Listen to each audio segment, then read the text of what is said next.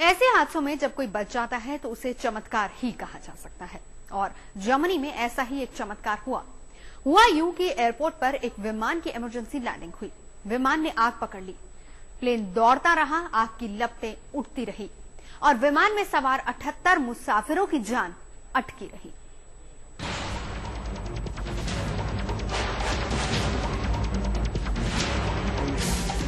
बस छू कर निकल गई मौत।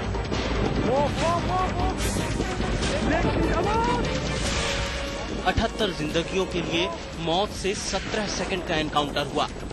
17 सेकंड की ये लपटें पूरे विमान को खाक कर सकती थीं, पर किस्मत विमान में सवार लोगों के साथ थी।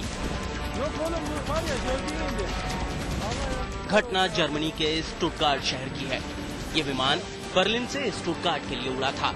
पर हवाई पट्टी पर उतरने से ठीक पहले विमान के लैंडिंग गियर में खराबी आ गई। कुछ देर तक हवा में चक्कर काटने के बाद पायलट ने विमान को उतारने की कोशिश की, पर सफल नहीं हुआ।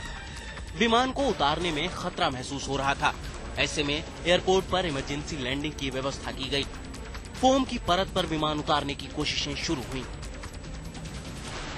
फायर ब्रिगेड की तमाम गाड़ियाँ तैयार कर दी गईं।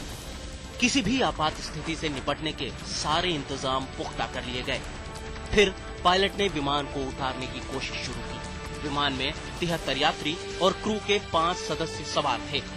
सभी अठहत्तर लोगों की साँसें अटकी हुई थीं। पायलट ने बड़ी मुश्किल से विमान को फोम की सतह पर उतारा, पर विमान के पहिए ने जैसे ही ज़मीन को छुआ, आग की लपट निकलनी शुरू हो गई। एयरपोर्ट पर मौजूद सभी लोग सख्ते में आ गए। विमान से आग के गोले छूट रहे थे।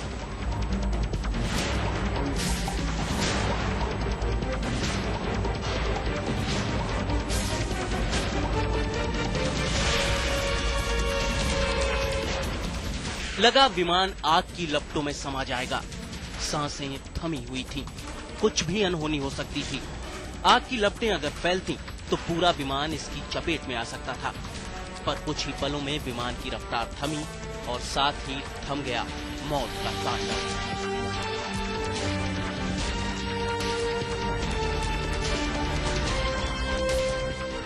आग की लपटें शांत हो चुकी थीं। विमान को तुरंत फायर ब्रिगेड की गाड़ियों ने घेर लिया और बची खुची आग भी बुझा दी गई इस हादसे के बाद विमान में सवार सभी अठहत्तर लोग सुरक्षित थे। हालाँकि पाँच यात्रियों की सदमे के चलते तबीयत खराब हो गई, जबकि एक फ़्लाइट अटेंडेंट को अस्पताल में जाँच के लिए भेजा गया। यह हादसा जर्मनी की सबसे बड़ी एयरलाइंस लुफ्थांसा की घरेलू सेवा कॉन्टैक्ट एयर के विमान के साथ हुआ। यह विमान उन्नीस सौ पंचानवे में बना था और 5 अगस्त 2009 को इसकी आखिरी फिटनेस जाँच हुई थी। उस वक्त इसमें कोई तकनीकी खराबी नहीं थी।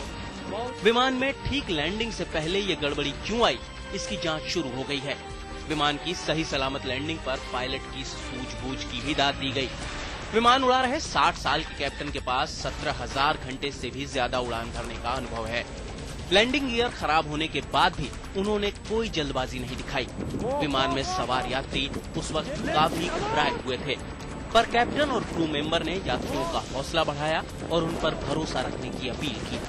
आखिर में अपने अनुभव और सूझबूझ की वजह से सभी यात्रियों को सही सलामत एयरपोर्ट पर उतार लिया गया।